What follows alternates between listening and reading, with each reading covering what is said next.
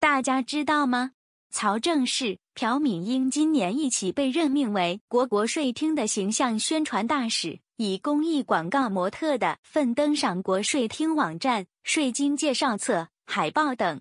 小编最翻到两人穿着正装出现在多张宣传图上，看了得不赞叹国税厅很会选人。曹正奭和朴敏英的像真的太好，看起来就非常值得信赖呢。Photo from 曹正奭、朴敏英今年三月作为模范纳税人受到总统表彰，四出席委任仪式，两人也享有许多模范纳税人的属优惠。像是在机场有专用商务中心供休息，出机场不用排队等待，且能携三名同伴，跟空服员一可通过优先专用安检入境等。另外，模范纳税人正标志的车辆一年间还可以免费使用公营停场，对需要奔波拍摄地的演员来说十分方便。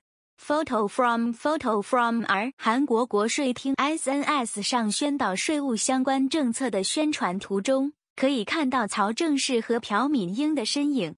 Photo from photo from photo from 曹正奭给人就非常有亲和力。感觉如果有不懂的地方，他就很热心的帮你解答。Photo from photo from photo from 朴敏英则是走温柔知性路，感觉会非常有条理的为你分析解惑。虽然小编明觉得女神有种补笑名师的感觉。呜，XD photo from photo from photo from 而曹正奭、敏英都穿上西装之后，两人根本完美化身职场英。看起来就非常有信服力，让人不自觉地产生赖。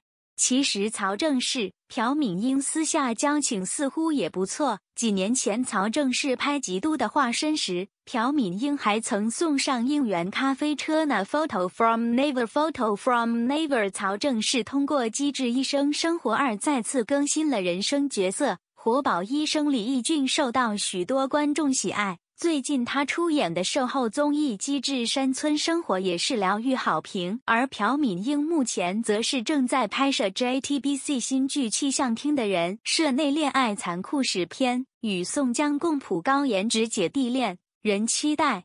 其实小编私心觉得曹正奭和朴敏英俩蛮有 CP 感的，希望以后有机会可以看到他们合作电视剧啊。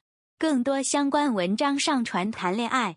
社内恋爱酷史片，朴敏英、宋江路透照，登气象船拍摄好砖。曹正奭出演喜剧节目 S N L Korea，搞笑疯了。变身清纯直播 AI 机器人还恶搞机，立刻来发楼我们的 Instagram 了 K Daily。